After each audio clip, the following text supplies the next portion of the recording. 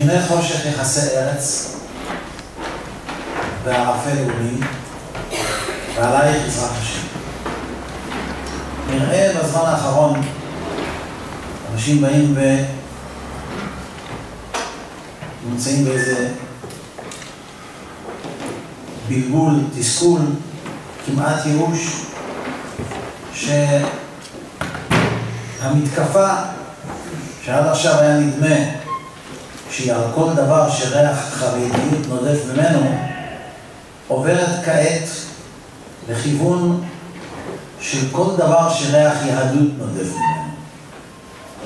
וההרגשה בקרב רבים היא שעומדים לערטל את יהדותה של המדינה ואת יהדותם של אזרחיה, אלה שלא מעוניינים בכך בחייהם הפרטיים.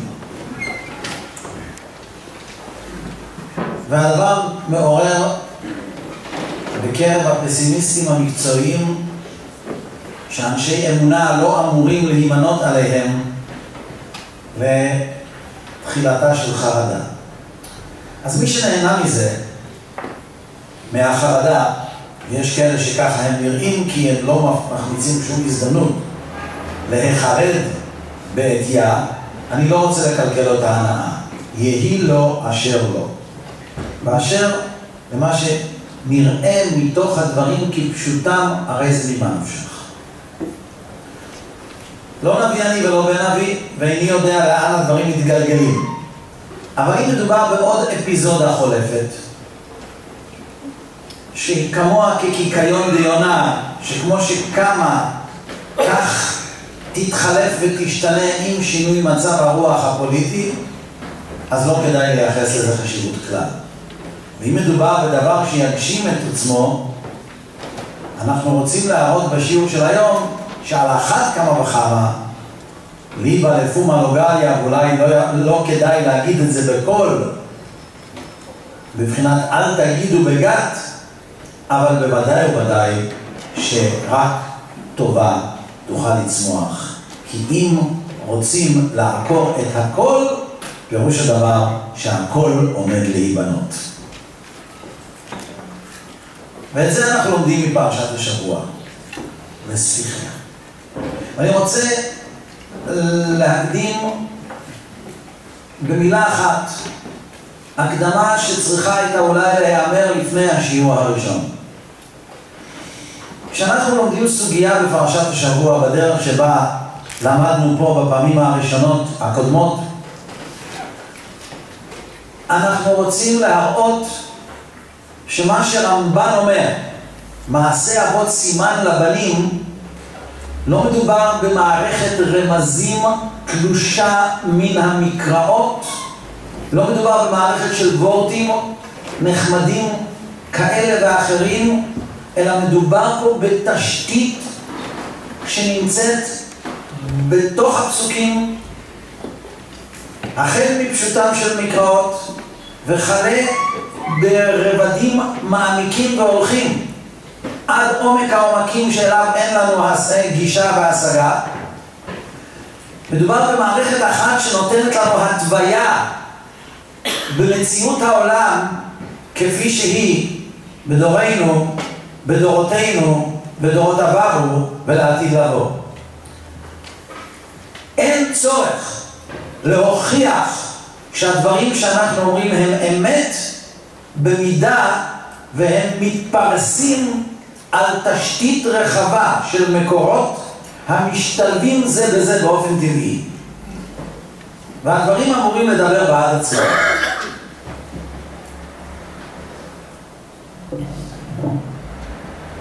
ואם לא כל הדברים מובנים על תמציתם לכולנו, כולל לא לי, אין בכך כל רע. כי גם כהן גדול, כשהיה דורה, קורא בתורה, בנביא, ביום הכיפורים, היה אומר יותר ממה שקראנו יש כאן. עצם ההרגשה שיש כאן יותר ממה שקראנו, יש לה את החשיבות משל עצמה. נתתי פעם הדרכה להוראת תנ"ך בפני מורות באיזה בית ספר בניו יורק, בברוקלין. אמרתי להם שיש בעיה.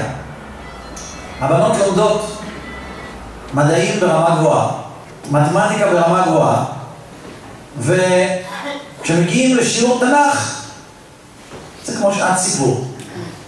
עכשיו זה נחמד, קל, מעניין, והתורה חוגרת שק, וזה חילול השם. אמרתי להם, צריך לעשות כמו שעשה היידן בסימפוניית ההפתעה. מאוד כעס היידן שהנכבדים שמגיעים לקונצרטים שלו, כשמגיע קטע שקט, שיהיה עמוק ומורכב ככל שיהיה, מתרווחים על מקומותיהם ונרדמים. אז הוא חיבר סימפוניה שאחרי קטע שקט ארוך, הוא הרים את כל התזמורת שכולם קפצו ממקומותיהם.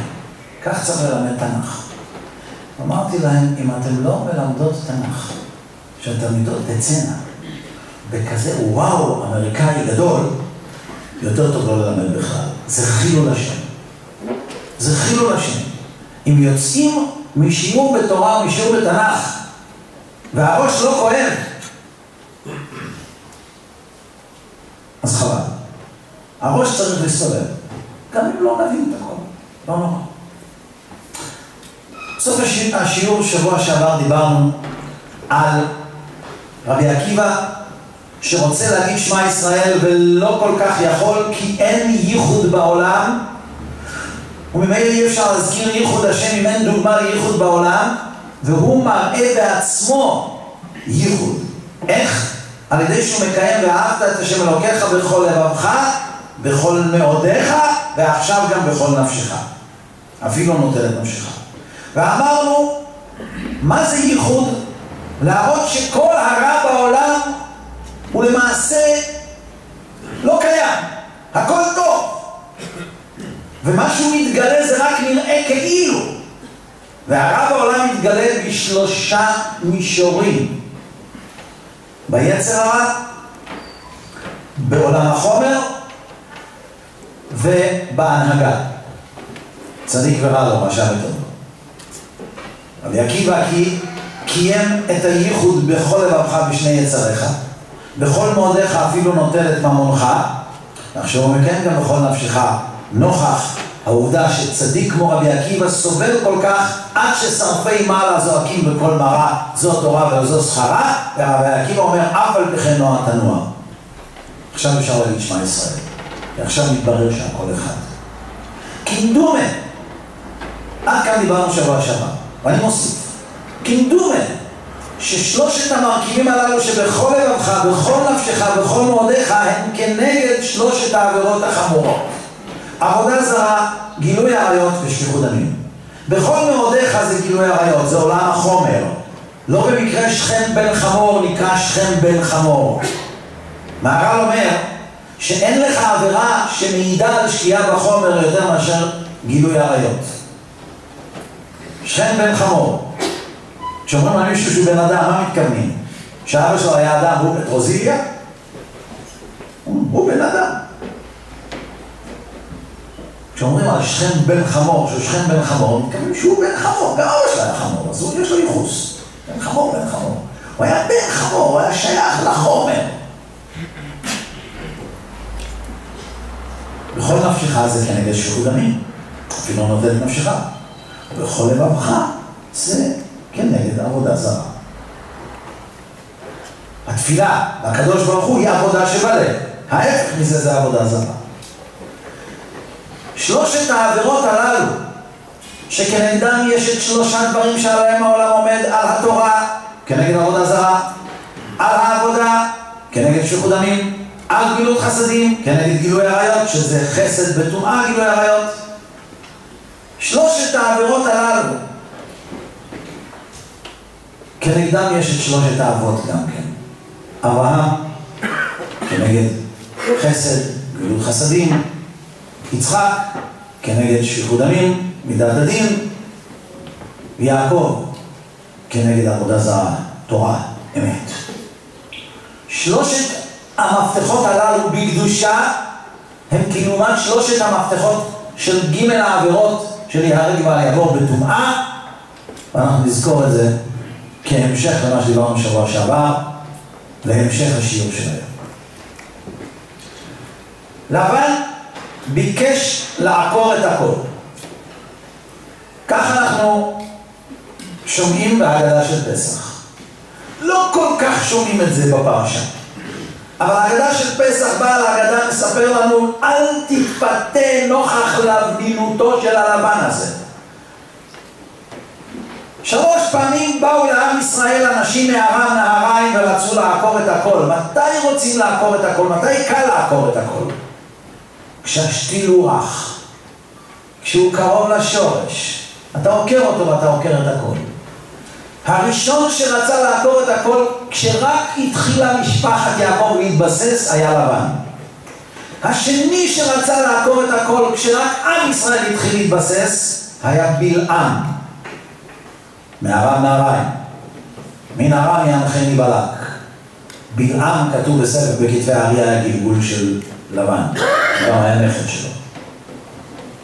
הראשון שבא לעקור את הכל אחרי שעם ישראל נכנס לארץ ישראל היה קושן רשעתיים מלך ארם נהריים. ההבדל בין קושן ללבן, שלבן היה קושן אבל היה נראה לבן וקושן היה לבן רק נראה קושן. לבן חוץ מזה שהיה קושן הוא גם כן היה שקרן. הוא רק נראה לבן, אבל הוא היה נבל. נבל זה לא רק ראשי תיבות אקטואליים. נבל זה משמאל לימין של לבן. לבן ביקש לעקור את הכל, אבל לא הלך לו. הוא דמות טרגית. כל מה שהוא עשה, מתוך כוונות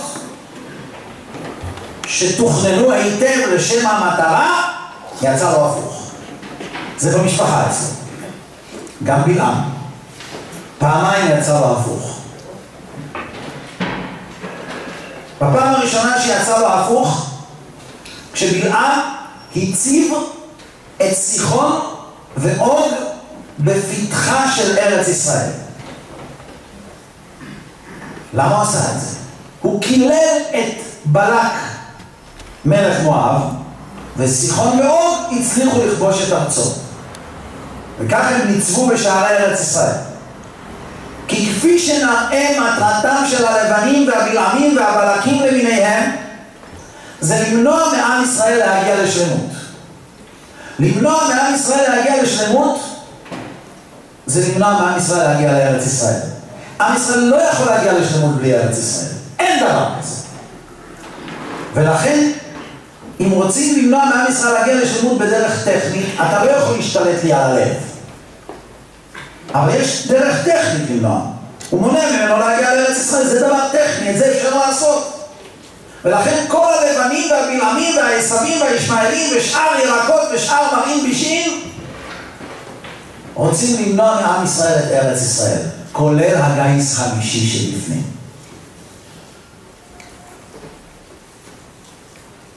שעושה כל מאמץ שנפסיד את ארץ ישראל. אני לא מדבר על אלה שרוצים להחזיר שטחים, אני מדבר על אלה שרוצים ותבואו ותטמאו את ארצי ונחלתי שמתם ותשמתם לטובה ואז ארץ ישראל מקיאה את בניה שנאמר ושמרתם את חוקותיי ואת משפטיי ולא תקיע הארץ אתכם אחרת. זאת הדרך הטכנית וממילא הנגישה ביותר לכל אותם אנשים שרק לדברים הטכניים יש להם גישה למנוע מעם ישראל להגיע לשלמות. בלעם רצה למנוע מעם ישראל להיכנס לארץ ישראל לכן הוא הציב בפתח ארץ ישראל את הענקים. סיחון ואור, את המעצמות של הדור. הוא לא הבין שעם ישראל לא פוחד מענקים. עם ישראל פוחד מפסוקים, מייסורי תורה. מוישה פיינשטיין פעם הלך לבית הכנסת, פתאום נעצר כאילו נתקע בחומה. כי איזה בחור עמד להתפלל שמונה עשרה. והוא לא רצה לעבור מול המתפלל. כתוב בהלכה לא לעבור מול המתפלל, זה כמו חומה שעמדה שם. הוא נתקע, הוא נתקע בלא כלום שהיה שם. לא כלום. הוסיף במשנה ברוך. זה יכול לעצור. זה מה שחז"ל אומרים. המון מואב תיארו בשיחון. אם היה שם מואב אי אפשר היה לעבור. כי לא תתגר, לא תצאו לא תתגר במלחמה. אי אפשר להילחם בהמון מואב. אם המון מואב היו שם, ישראל היו בבעיה. מה עשה בלעם? ניקה את השטח. הוא שם ענקים, נו שם, ענקים, בסדר. מישהו מפחד מענקים? יש ספר טילים. מנפנפים אותם בספר טילים, כמו שמשה רבינו עשה.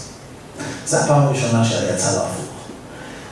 פעם השנייה שיצא לבלעם הפוך, הייתה כשהוא בא לקלל ונמצא מברך. ואומנם כל ברכותיו הפכו לקללה, אבל הדבר המרכזי לא הפך לקללה, מה שבאמת שומר על עם ישראל. מה טוב הוא עליך יעקב משכנותיך ישראל, בתי כנסיות, בתי מדרשות ועולם הישיבות. שוב הלך לו, באמת חבל עליו, מוטרגית. אבל הכל התחיל מלבן. המסורת הזאת של להצליח הפוך, התחילה מלבן. בואו נלמד את הפרשה של פרשת השבוע היא באמת פרשה סתומה. יעקב בא לחרן, בצאתו רודף אחר אליפז. אליפז הוא האבא של עמלק. עוד לפני שהוא יוצא לדרך, התורה מספרת לנו שיש קואליציה בינלאומית. עשיו הולך לשאת את ביתו של ישמעאל. ויקח את מחלת בת ישמעאל על נשב לו לאישה. שואל הרב החיים הקדוש, בשביל היה צריך את המחלה הזאת? הרי היו לו כבר שתי מחלות בבית. אלא מה תאמר פשוטו של מקרוב, היה הרי עשיו קירות ונותנה בני יצחק אביו, וילך אל ישמעאל ויקח את מחלת בת ישמעאל נשב לו לאישה. אומר הרב החיים הקדוש, הרי הוא לא גירש את הנשים המרגיזות, הוא רק הוסיף עוד אחת עליהם מבחינת טובות השתיים, מילה אחת באחות המשולש, לא במהרה ינתק, עוד אחת מאותו סוג הוסיף. אומר האור החיים, פחד עשיו שהברכות של אבא על חרבך תחיה, לא יחולו על הילדים של הנשים המרגיזות. אז הוא הלך ועשה ברית עם ישמעאל, שהזכות המשותפת שלהם תעזור. כלומר, כל הברית עם ישמעאל הייתה כנגד מכירת הברכות, הבכורה כנגד יעקב. יש לנו פה טריומווירט, יש לנו פה שלוש, שלושה כוחות כנגד יעקב. עשיו, ישמעאל ועמלק. עמלק עוד לא נולד, אז אליפז, אבי עמלק שרודף אחרי יעקב. עשיו זה שפיכות דמים, ישמעאל זה גילוי עריות, עמלק זה עבודה זרה. כי הרי עמלק, דיברנו על זה, נקרא לץ. כל ליצנות אסורה חוץ מליצנות בעבודה זרה. זה האנטיתזה שלו. הליצנות המותרת. עמלק. עבודה זרה. שלושת הכוחות. מגייסים את כל הכוחות. כדי שיעקב אבינו לא ייכנס לארץ ישראל. ונפרס עוד אחריו להורגו.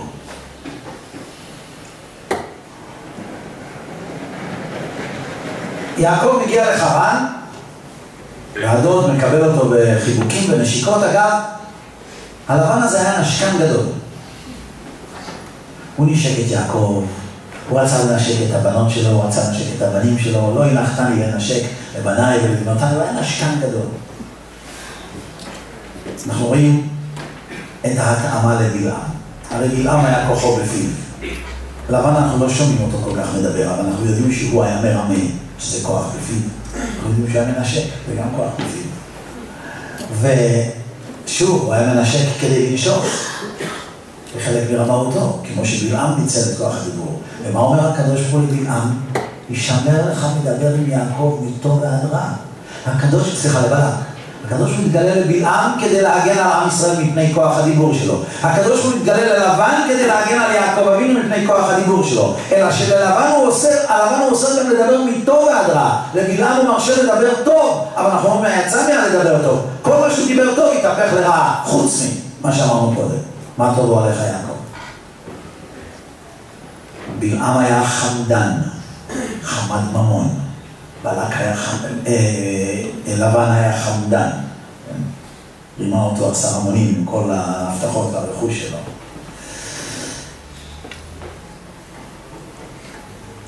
הוא מגיע לביתו של לבן, אחרי הנשיקות לא נעים, נשק עם לבן שם. חלק מהמחיר להיות יעקב אבינו. והוא עובד שבע שנים ברחל ביתו הקטנה. ולבן מחליף את הבנות. מה הרוויח לבן בכך שהוא החליף את הבנות? זה שלבן מצד אחד לא רוצה להפסיד את שבע שנות העבודה בחינם של יעקב ומצד שני לא מוצא חן בעיניו חתן כמו יעקב, את זה אנחנו מבינים. לא מתאים לו. איפה יכול החבר'ה? אבל הבת שלי התארסה, עם מי התארסה? איזה בחור ישיבה.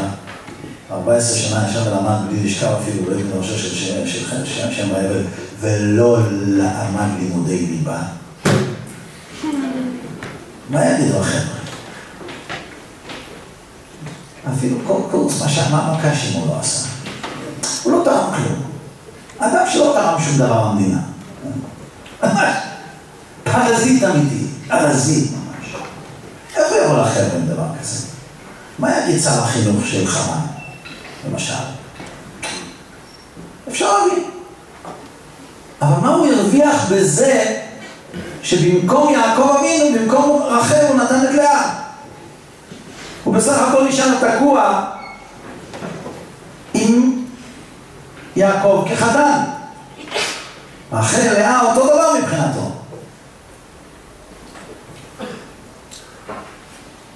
אלא מה, הטענה שהוא אמר, לא מקובל לתת את הבחירה, את הצעירה לפני הבחירה, כולנו יודעים שזה שטות.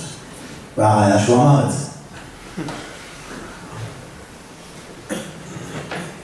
ואם זאת הייתה הטענה, אז איפה היה בהתחלה? למה בהתחלה הוא לא אמר את זה? אם, זאת, אם זה נמד, זה התגלה לו פתאום, מנהג המקום התגלה לו פתאום, למה, למה בהתחלה הוא הסכים? עומק הפשט לכאורה הוא כזה. לבן ועשיו וישמעאל לא רוצים שהעולם יגיע לשלמות. אם העולם יגיע לשלמות, הם גמרו את הקדנציה. הם רוצים למנוע את העולם מלהגיע לשלמות. העולם לא יכול להגיע לשלמות אם יעקב אבינו לא מגיע לשלמות. יעקב אבינו לא יכול להגיע לשלמות אם הוא לא מגיע לארץ ישראל. כבר אמרנו. הדרך למנוע מיעקב אבינו להגיע לשלמות זה לחסום אותו בכניסה לארץ ישראל. תפקידו של לבן היה להחזיק אותו בחרן, תפקידו של עשיו היה, במידה ולבן לא מצליח, לעצור אותו בכניסה לארץ ישראל. מלחמה ליעקב פנים ואחור. איך גורמים שיעקב אבינו לא יוכל להגיע לארץ ישראל? צריך לגרום שהוא לא יוכל לעמוד מול עשיו. איך גורמים שיעקב לא יוכל לעמוד מול עשיו? גורמים שיוסף לא ייוולד.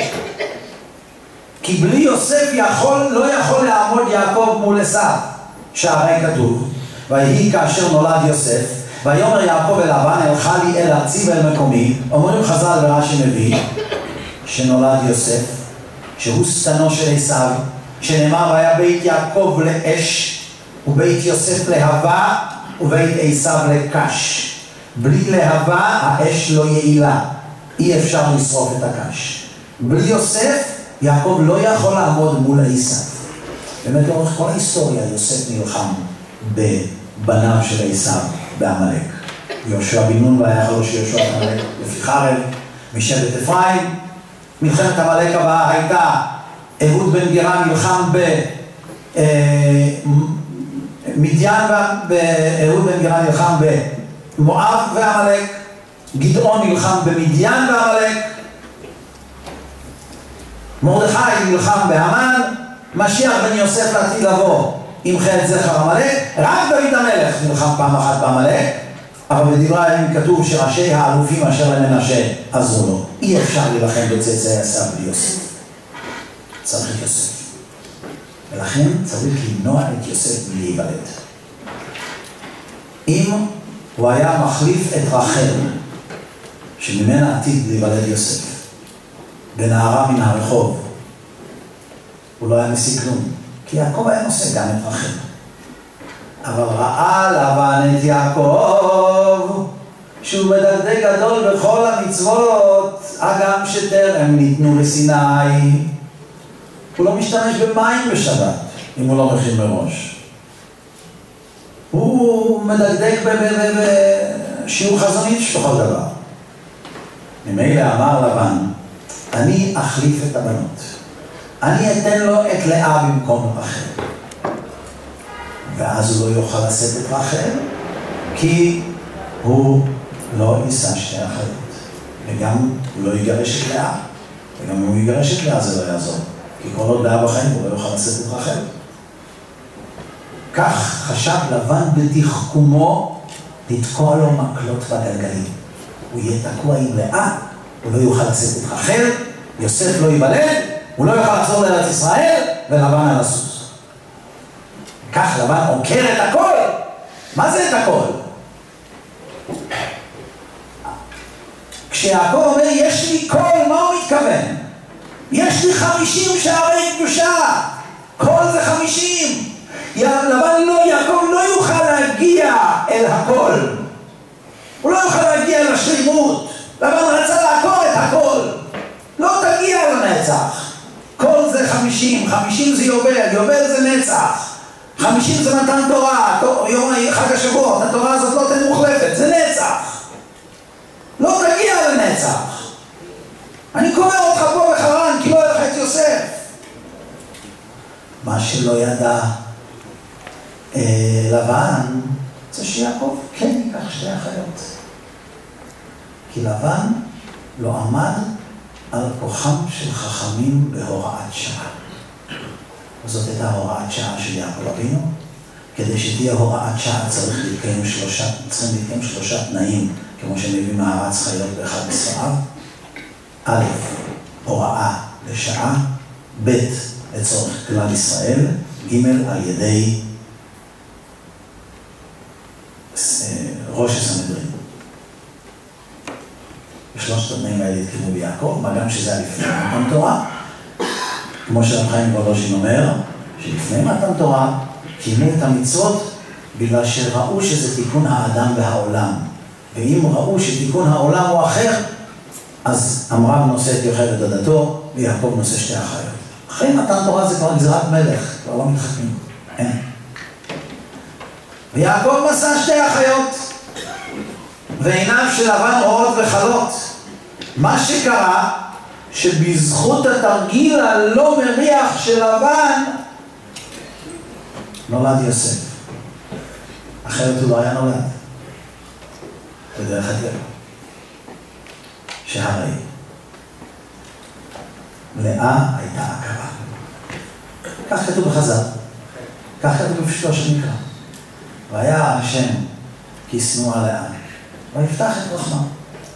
הווה אומר שבדרך הטבע הרגיל לא הייתה לאה יולדת. רק בגלל שהיא הייתה ראויה לפיצוי כי היא הייתה שנואה, פתח השם את רחמה. אבל לאה הייתה שנואה?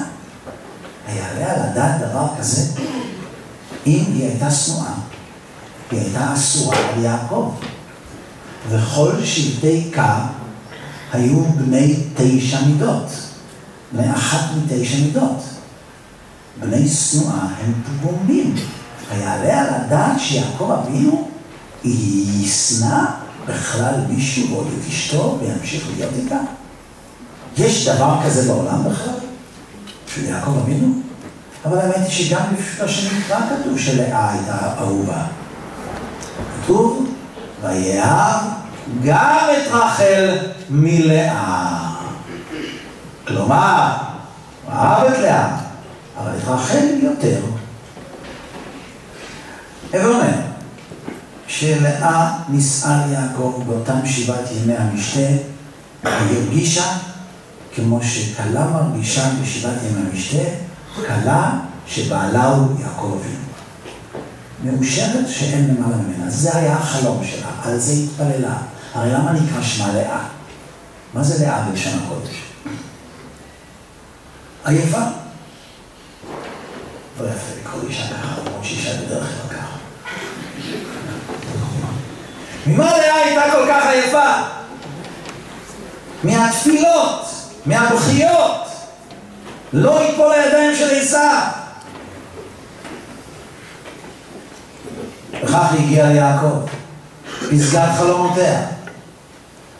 ואז כשנכנסה רחל, על רקע מציאותה של רחל בבית, לאה לא הרגישה טוב.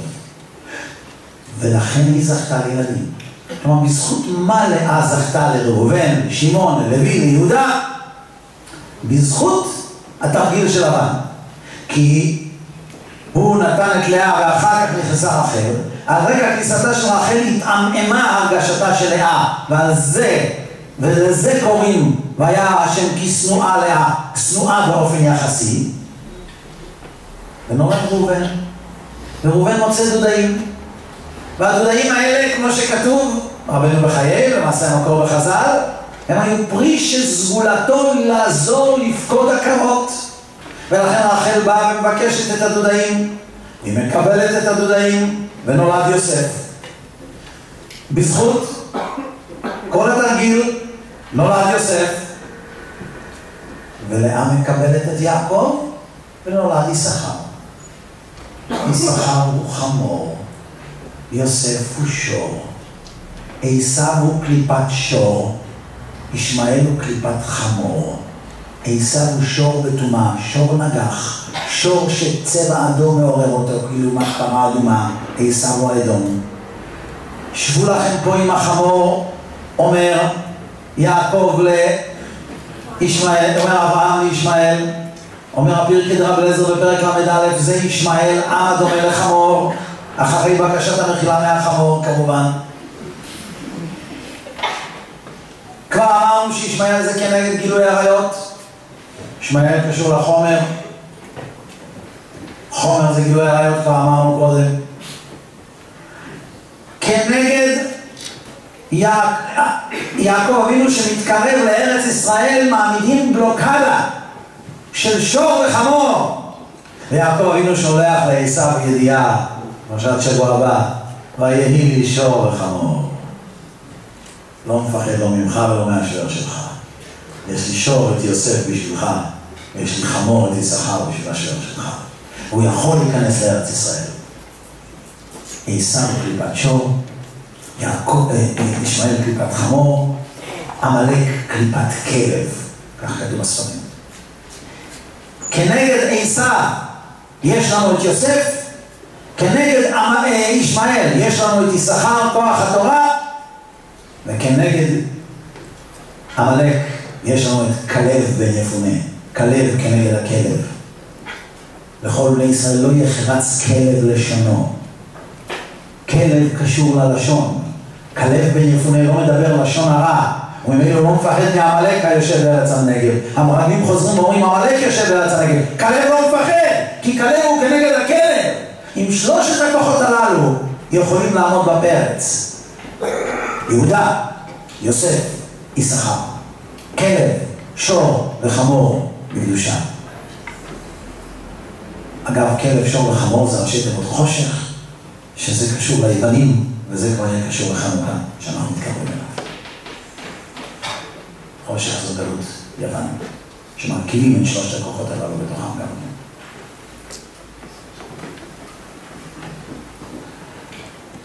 אז ראינו כיצד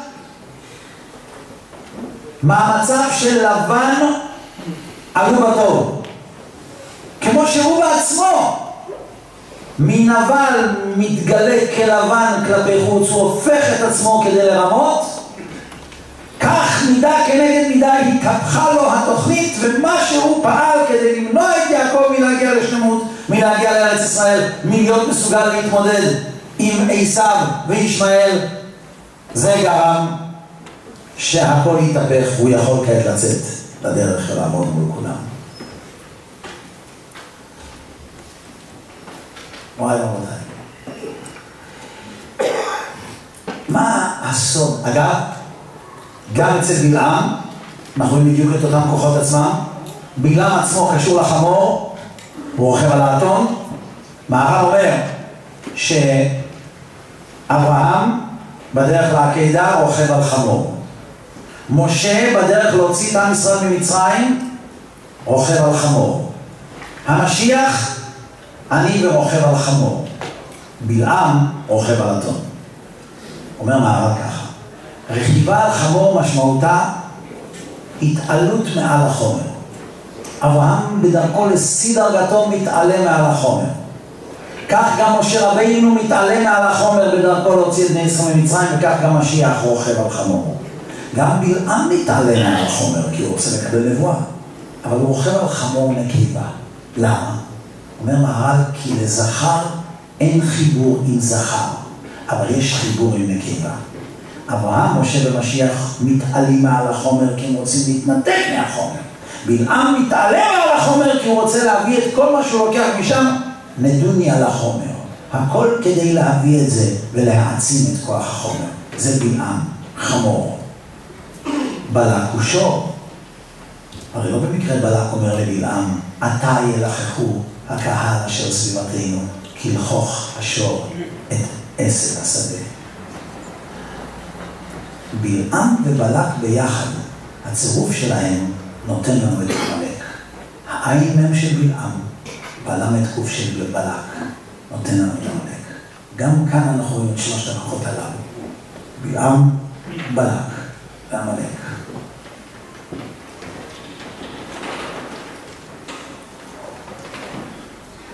וכוחו של בלעם הוא גם בפיו.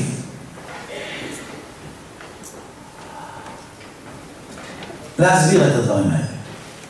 איך זה עובד? למה באמת לבן שרוצה לעקור את הכל, מתהפך אצלו הכל?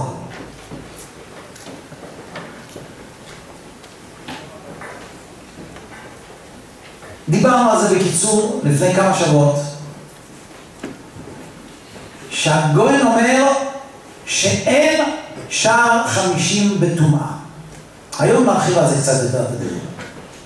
כתוב במשלי פרק ט"ז פסוק ד' כל פעל השם התקיבקי למענהו וגם רשע ליום רעה. אומר הגויין, כל חמישים פעל השם למענהו בקדושה. לרשע ביום רעה יש רק וגם, 49. אין שער חמישים בטומאה. לכאורה דברי הגויין הללו פשוטים בסברה. כי כפי שאמרנו קודם, שער חמישים זה נצח. כשמגיעים לשער חמישים, מגיעים לנצח. על משה רבינו נאמר, ותחסרהו מעט מאלוקים. מ"ט שערי בידה ניתנו לשערי, למשה רבינו. שער החמישים לא ניתן לו. אם היה ניתן לו שער החמישים, משה רבינו לא היה מת. לכן משה רבינו היה זה שיכול היה להביא בזכותו את המן לעם ישראל. כי מן זה לחם שירד משער החמישים, ולכן לא היה בו פסולת. אם הייתה במציאות, מציאות, אם הייתה במציאות שאנחנו מכירים, מהות בלי פסולת, היא לא הייתה קלה. לא הייתה קלה, היא הייתה נשארת לנצח. מה שגורר למות זה פסולת. זה שיש פסולת. שער חמישים זה נצח.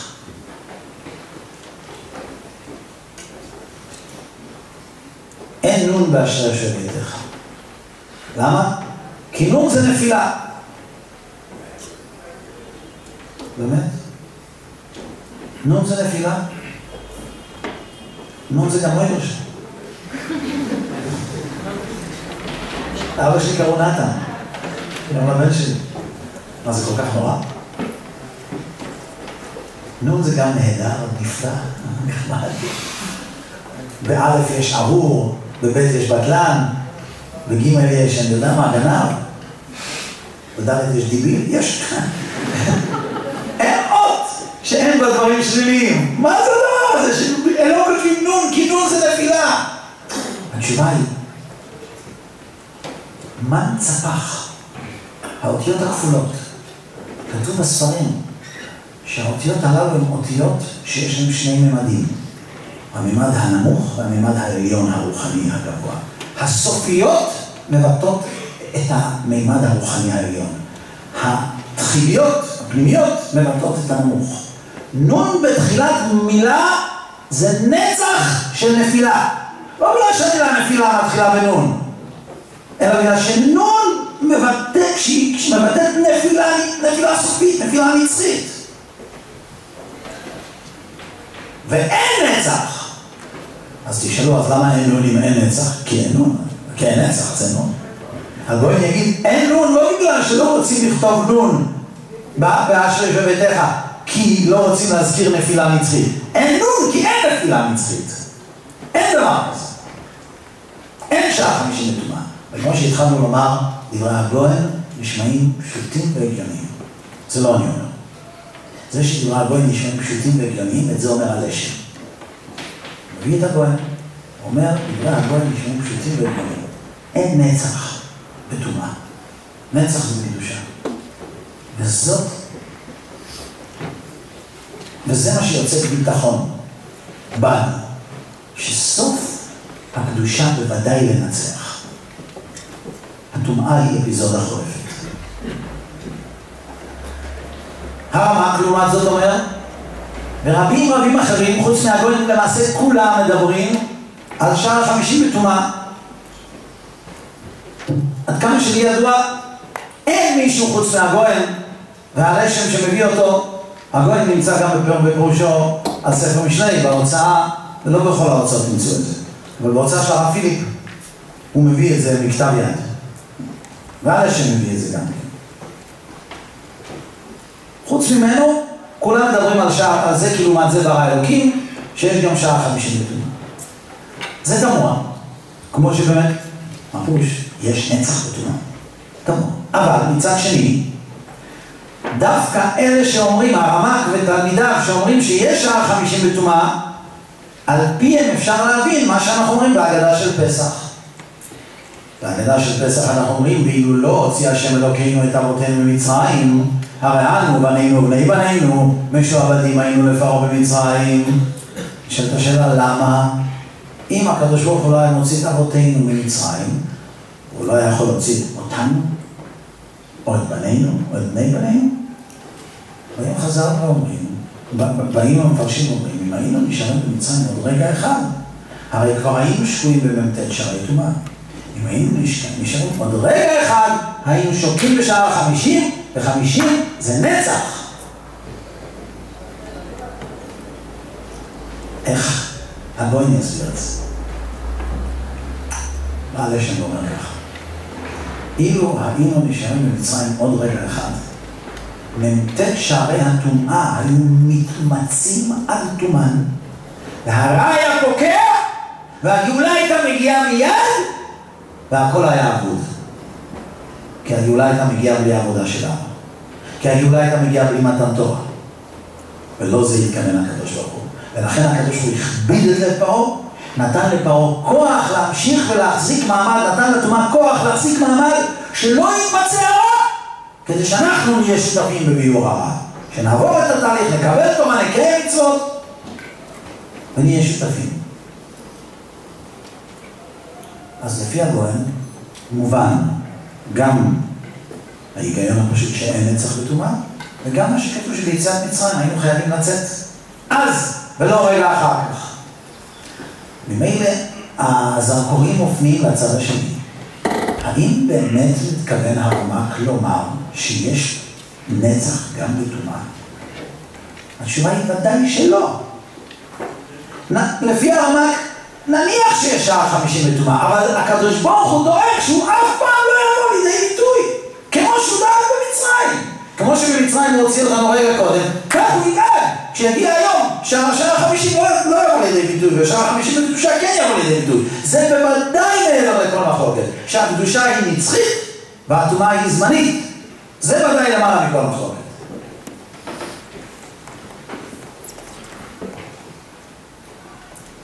והייתי מעז לומר דבר כזה. ברגע שמגיעים לשער החמישים בטומאה, וכל הדעות פתאום מוצאים את עצמם בשער החמישים בקדושה.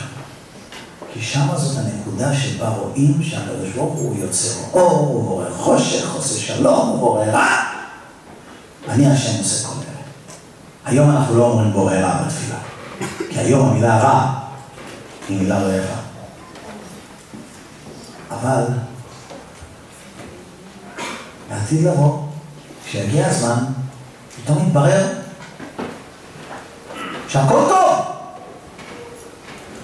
ששום דבר לא היה מחוץ לקדוש ברוך הוא. והיה השם למלך על כל הארץ ביום ההוא יהיה השם אחד ושמו אחד.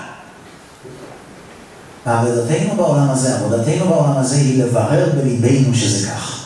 זאת הייתה עבודתו של רבי עקיבא. בכל לבבך, בכל נפשך, בכל מאודיך. אין באמת דבר שהוא מחוץ לקדוש ברוך הוא חלילה. הכל! אחדות אחת, שמע ישראל השם אלוקינו השם אחד, בשעת יציאת נשימה.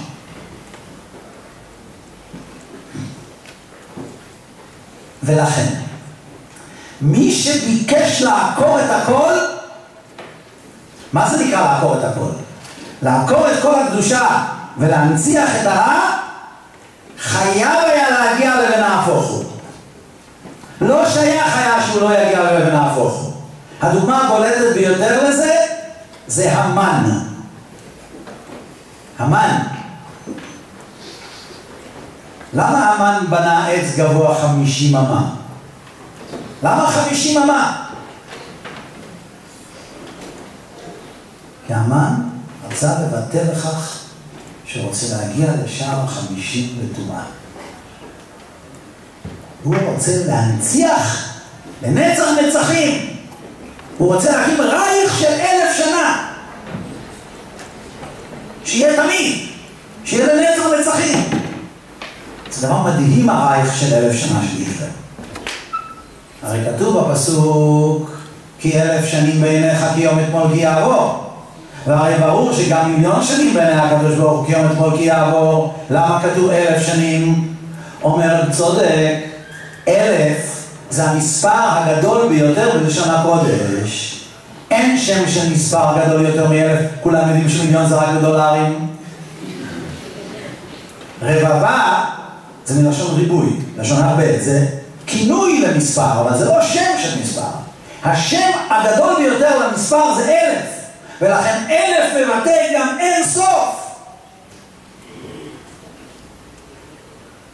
כשאנחנו אומרים שהקדוש ברוך הוא אני ראשון ואני אחרון, והקדוש ברוך הוא מתבטא באות א', אלופו של עולם. איך האות א' מבטאת את האני ראשון אנחנו יודעים. זו האות הראשונה, מספרה אחד. שמע ישראל השם כן השם אחד. איך האות א' מבטאת את האני האחרון? פשוט. אתה כותב את כל האלף ב' בעיגול, כולל המנצבח, האותיות הכפולות. אז א' זה אחד, ט' זה תשע, י' זה עשר, כ' זה עשרים, ק' זה מאה, ר' מאתיים, ש' שלוש מאות, ת' ארבע מאות, כ' סופית חמש מאות, מ' סופית שש מאות, נ' סופית שבע מאות, פ' סופית שמונה מאות, צ' סופית תשע מאות, א' אלף. א' זה גם אלף. המעגל נסגר. אלף זה האינסוף. הוא רצה להקים רייך של אלף שנה! אף אגב דיור לא חזי, מה זה חזה? דברים גדולים לא קורים במקרה, הוא רצה להעמיד את הרע לנצח! המן רצה להעמיד את הרע לנצח, זה מוכרח היה להיות ונהפוך הוא. לבן! שהיה באמת נבל! עם נון תחילית ולא נון סופית, הוא רק רצה להראות שכאילו יש לו נון סופית. רצה לעקור את הכל! זה היה חייב להתהפך. זה היה חייב להתהפך, לא שייך היה שלא יתהפך. בלעם שרצה לנצל את כוחות הקדושה כדי להגביר את הטומאה, כוח הנבואה. זה היה חייב להתהפך. לא היה שייך שלא יתהפך. כי כשרוצים לעקור את הכל, מובטח להם הכישלון. ולא רק הכישלון, אלא ונהפוך. אני רוצה לתת דוגמה, בעיניי היא מקסימה. גם בגלל שאני מצאתי אותה. אבל אתם תראו בעצמכם שהיא מקסימה. הייתה, היה מרוץ ותחרות סמויה, מרוץ סמוי ותחרות סמויה בין הגרמנים לבעלות הברית, בעיקר הבריטים והאמריקאים. מי יהיה הראשון לבנות פצצת אטום? אני לא צריך להרחיב את הדיבור ולומר לכם מה היה קורה אם גרמניה הייתה מצליחה לבנות פצצת אטום. הם לא היו מהססים רגע אחד להשתמש כנגד מי שלא יהיה. אם האמריקאים השתמשו, הם ודאי השתמשו. עכשיו צריך להבין, בפצצת האטום שהושלכה על הירושימה, פצצה התפוצצה 800 מטר מעל העיר. בנקודת הפיצוץ היה 60 מיליון מעלות סלסיוס. זה פי ארבע מהטמפרטורה בליבת השמש. מי שהיה ברדיוס של 200 מטר סביב מרכז הפיצוץ, התאייד. לא נשאר ממנו כלום, פשוט התאייד. 70 אלף איש נהרגו במקום, 70-80 אלף איש, עוד 60 אלף מהרעלת קרינה עד סוף השנה. זה בירושימה ונגסקי היה קצת פחות, בגלל שנגסקי נמצאת בין הרים, וההרים קצת אה, גרמו שלא כל הפיצוץ חדר לתוך העמק הזה. אם לגרמנים היה דבר כזה,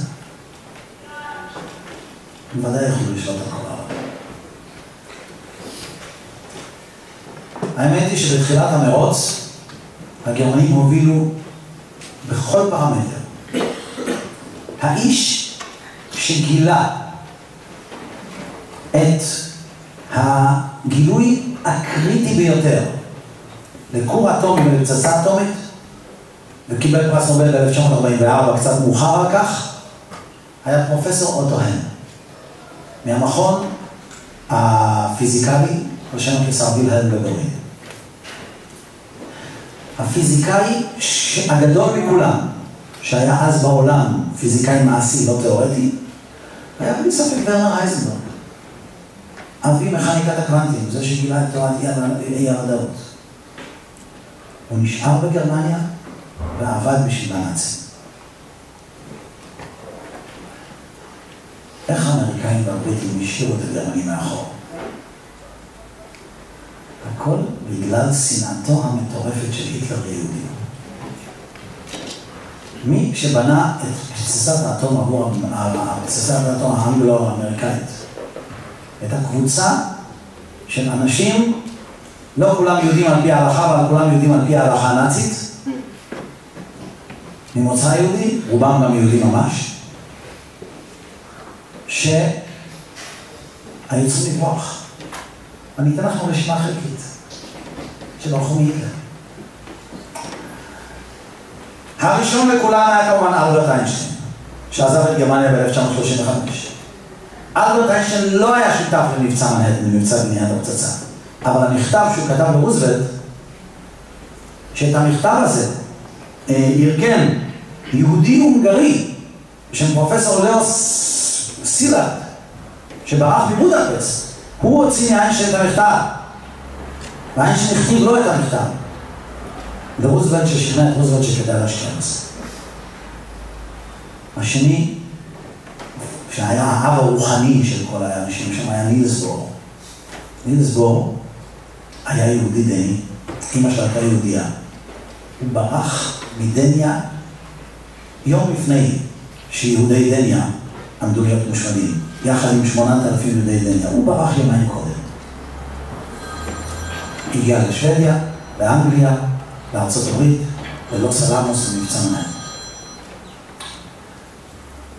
שותפתו האסיסטנטית של פרופסור אוטו הן, שהביאה החוצה את הגילוי של שותפה, הייתה פרופסור ליז מאוטנר,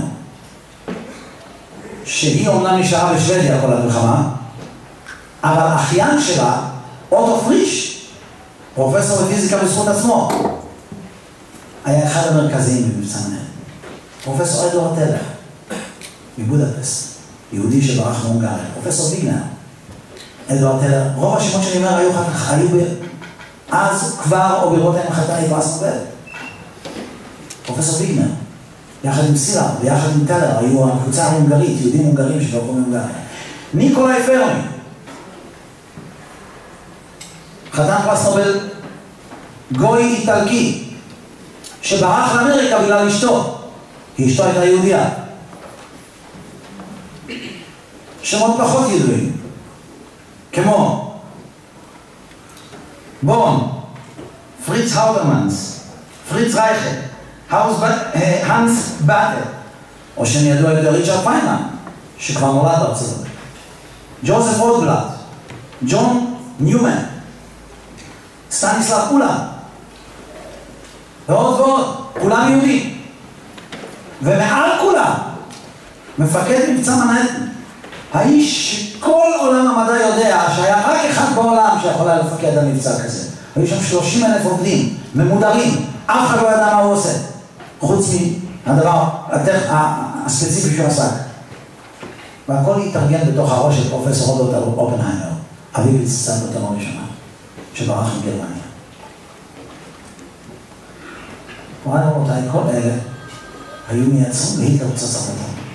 אגב, גם פצצת האטום הרוסית בנו יהודים. כי יש פה עוד רשימה של מרגלים יהודים שהרגלו עבור רוסיה, עבור ברית המועצות, בתוך מבצע מנהטן. אז שתי המערכות בנו יהודים שברחו מהיטלר. ונהפוך. היטלר רצה לעקור את הכל. הוא רצה להקים רייך של אלף שנה. במסגרת הזאת הוא רדף אחרי היהודים, להשמיד, להרוג ולאבד. הוא הצליח בצורה שהמן לא הצליח להשמיד יהודים רבים מדי, אבל אי אפשר למחוק את הנקודה הזאת, שבסופו של יום מה שגרם למפלתו ולעובדה שלא לא הייתה פצצת בכלל, ולכן כן הייתה, זה הרדיפה שלו אחרי יהודים. כי כל השמות שאמרתי עזבו את גרמניה בחייב לב. כולם היו פטריוטים גרמנים. חלק מהם לחמו בצבא הגרמני במלחמת העולם הראשונה. חלק מהם גם הותרו בעיטורי כבוד. ונהפוך. כי כשמי שרוצה לעקור את הכל, זאת בשורה טובה. זאת בשורה טובה. אם הוא רוצה לעקור את הכל, אז הוא ודאי לא יצליח. לא רק שהוא לא יצליח, אלא גם יהיה ונהפוך. תודה רבה.